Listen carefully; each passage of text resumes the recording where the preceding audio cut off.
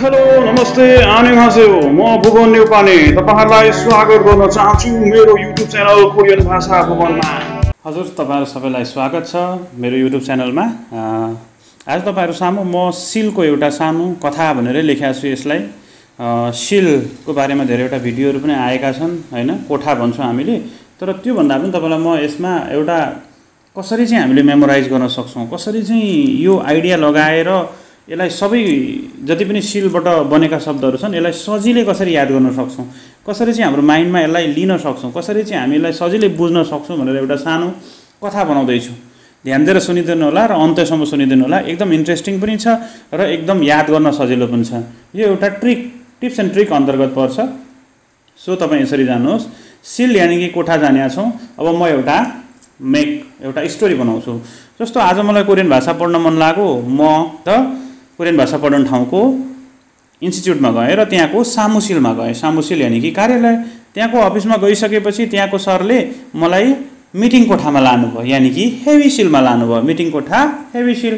अनि त्यहाँ बसेर हामीले छलफल गऱ्यौँ। के पढ्नुपर्ने कति तिर्नुपर्ने के गर्नुपर्ने। त्यस पछाडि म एडमिट भएँ अनि सरले मलाई ख्योसिल ठाउँ लानुभयो यानि कि कक्षा कोठा ठाउँ लानुभयो ख्योसिल कक्षा कोठा ख्योसिल कक्षा कोठा सो कक्षा कोठामा पुगिसकेपछि टिचरले मलाई पढाउनु भयो एक घन्टा दुई घन्टा तिन घन्टा हामी पढ्यौँ पढिसके पछाडि मलाई म एकछिन बाहिर निक्लेँ त्यहाँ बाहिर के थियो त आराम गर्ने कक्ष थियो यानि कि युगेसिल थियो है युगेसिल आराम कक्ष म आराम कक्षमा एकछिन बसेँ अरे त्यहाँ बसेँ पानी खाएँ एकछिन टिभी हेरेँ सो आराम कक्षमा बस बसिसके पछाडि एकछिन पछाडि मलाई के भयो टोइलेट आएको महसुस भयो म कहाँ गएँ?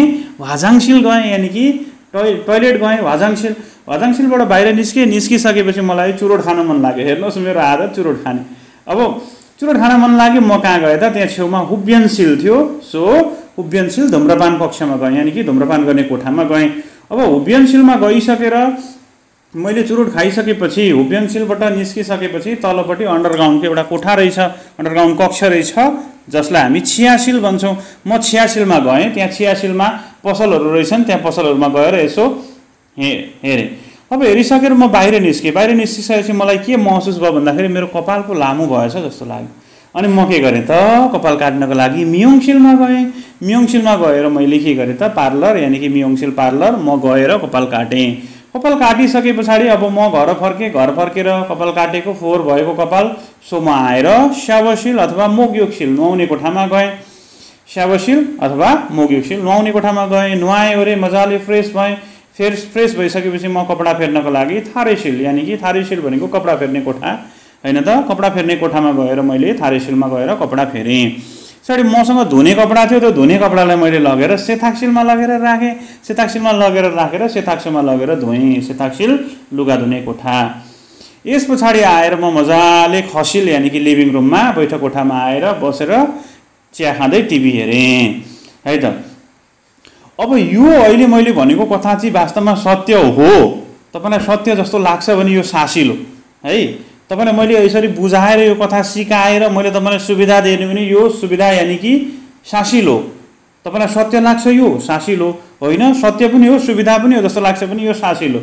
होइन भनेदेखि अगर तपाईँलाई त्यस्तो लाग्छ भने र तपाईँले यो कुरा जान्नु भएन भने तपाईँलाई साङ्सिल भयो है अब नोक्सान भयो अवश्य पनि। सो यो कथालाई राम्रै जान्नुहोस् यानि कि तपाईँलाई साङ्सिल नहोस् है साङ्सिल भनेको नोक्सान। सो सिल लागेका सबै कोठा हुन्छन् भन्ने पनि होइन यहाँ सासिल सत्य अथवा सुविधा साङ्सिल यानि कि नोक्सान भन्ने छ। सो यसलाई थोरै इन्ट्रेस्टिङ तरिकाले तपाईँलाई कथासँग जोडिसकेपछि चाहिँ त्यो कुराहरू मेमोराइज गर्न के हुन्छ? सजिलो हुन्छ।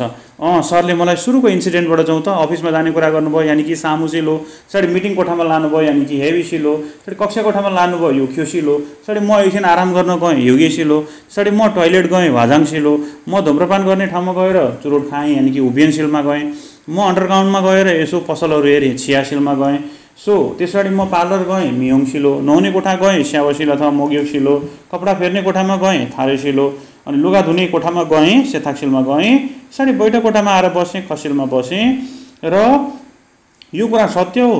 र यो सुविधा पनि हो। तपाईँले यसरी पढ्न पाउनुभयो सासिल र तपाईँले जान्नु भएन तपाईँलाई साङसिल यानि कि नोक्सान भयो। हस् त नमस्ते यो छोटो भिडियो तपाईँलाई कस्तो लाग्यो? लाइक कमेन्ट सेयर गर्नुहोला। मन पऱ्यो भने अवश्य पनि लाइक गर्नुहोला। आजलाई यति नै गरौँ।